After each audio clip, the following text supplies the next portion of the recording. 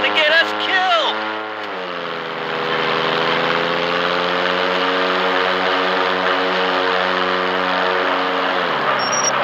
Are we there yet?